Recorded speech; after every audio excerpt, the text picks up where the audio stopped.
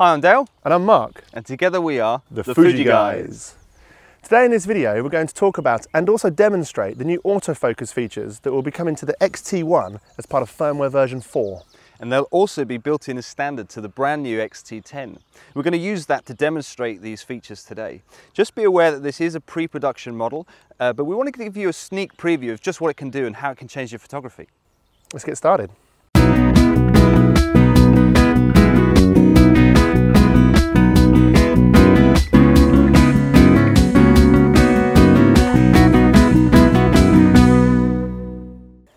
Well as improving the phase detection algorithm to allow it to be used in lower light than you're currently used to, there's three new autofocus modes that have been added. There's a wide tracking mode, a zone mode, and an eye detection mode. Firstly, let's talk about wide tracking. How does it work and what can you do with it? Well, it's using all of the autofocus points available to the camera. And with that, it's tracking something in the frame and it's not just left or right, it's up and down and it's towards the camera and it's away from the camera. So it's a really versatile mode. What would you use it for? Well, let's say it's a train coming across the framing. You want to keep the composition the same, but you want the autofocus to keep tracking the, the, front of the train to get that lovely shot. It's a really handy feature to have, and that's exactly what you'd use wide tracking for. Zone mode autofocus is kind of like a halfway house between a single AF point and the wide tracking mode. Within the camera, you can set a 5x5, 5x3 or a 3x3 box of autofocus points and adjust it to wherever you want within the frame. What this then allows you to do is if you're shooting a moving subject, as soon as the subject is within that frame, you half press the shutter and the camera will then lock onto them. It will then continue to adjust the focus, allowing you to get the perfect shot. Eye detection does exactly what it says on the tin. The camera's using clever algorithms to look for the eyes, and when it does, that's where the focus is going to go when you press the shutter button. It's really simple, it's really easy, and the most important thing to a portrait is getting the eyes sharp. So it's a great feature to add onto the camera.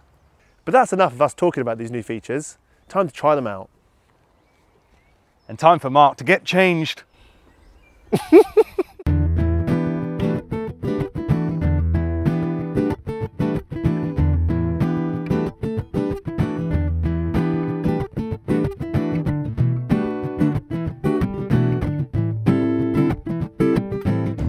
Okay, so just want to talk you through the settings that I'm using today uh, on the XT10 to shoot Marc in his uh, lovely Lycra. So I've got it set to aperture priority, got it at f5.6, just to give a bit of depth of field but not too much. The um, shutter is going to work automatically within a certain set of parameters that I've chosen for it. So um, I've got it set to ISO 200 to 6400, so I'm giving it the full range. And then from that, I'm going to set the minimum shutter to be 250th of a second, which is going to ensure that when it's in focus, it's also, the shutter's going fast enough to capture the shot. Okay, let's quickly go through the wide tracking. So you can move the focus point around, as you hopefully can see there. You can move the focus point around, and I'm going to select this point right here, I think. And what's going to happen is, as Marc comes into the frame, I'm going to half press the shutter button down, like this, and you can see the squares start to appear. Now, as he moves across the frame, the squares are going to track him, and when I'm happy with the composition, I'm going to push the shutter button down all the way, and that's going to capture the shot. And that's where the focus is going to be. So let's give that a little try now. Okay, here he comes. So, half press, can work with me. Lovely. See if you can see that. Hopefully you can see that on the camera. I'll bring it up on the screen as well so you can see it in better detail. But it's tracking him really nicely and I like the way it's got that kind of epic look and it's because I'm sitting down on the ground. But um, very impressed, very nice. Here he comes again, so half press, let it track, let it track.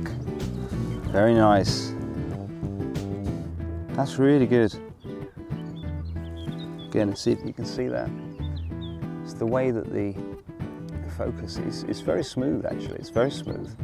And it just makes it so much easier. I can keep the composition I want, let the focus points work for me. It's, it's, it's lovely to see. Really nice to see that. Okay, we're just going to talk about the zone tracking. So, as Marc explained earlier, you've got a selection of points. You've got a big 5x5, you've got the 3x5, and you've got the 3x3 options available. Uh, I'm going to use the 3x5 and have it set to the middle so that we can use all of the phase detection pixels that the camera has access to. And with that, what it's going to do is when he comes into this box, it's going to track him through the box and if I move with him it's going to continue to focus as well. So it should be a nice concentrated way of keeping the focus and keeping him nice and sharp. So let's give it a try. Here he comes.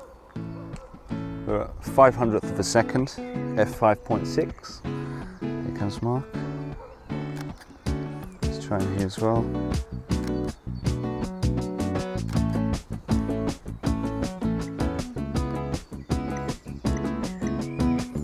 Lovely. In focus, in focus, in focus. Okay, impromptu, impromptu runner coming this way. Cyclists. Ooh, that was quick.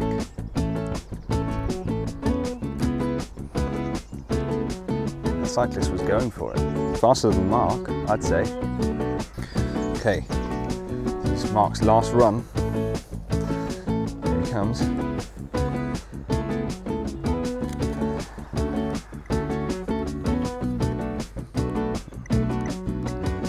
Very nice. Nice one to finish that. Nice and sharp, nice and clear. So there you have it. We hope you found this video helpful and it explained the new XT1 and XT10 autofocus features. So you were shooting, how did you find it? You know, when I used the uh, wide tracking mode, I was really, really surprised by it because when I had that shot framed up with the, as you coming through along the path, normally I'd use a single point autofocus, which would be pretty tricky in that environment because I'd have to kind of predict where you're going to end up and then at that moment take the shot or try and track it, but it wouldn't be as good. Using the wide tracking was really nice because I could set where you were coming in and then as you hit the point in the composition that I really liked, to just take that picture.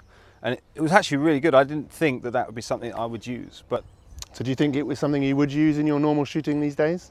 You know, I probably would because uh, I do a lot of climbing, and although climbing is not a really fast sport, it's a very unpredictable movement sport. And if I start on the person before they start climbing, and then as they move about in the frame, uh, that's going to be a really, really good mode to use. Actually, I'm, I'm excited to try it out in that environment. And what about zone focusing? Well, the zone focusing, now that I definitely would use. Um, to me, it seems like a very similar method of focusing as the single, uh, single point autofocus. The difference being that it's a little bit more relaxed. It, it opens up that area and lets me relax, if you like, let the camera do the hard work. And it definitely seems to focus a lot faster as well. Um, so when I'm doing shots of people, things like that, um, I've got a lot of confidence that that mode's going to really perform for me. Um, not so much sport, but certainly people in their low light environments with the, extra phase detection pixels. You know, I'm really excited. Okay.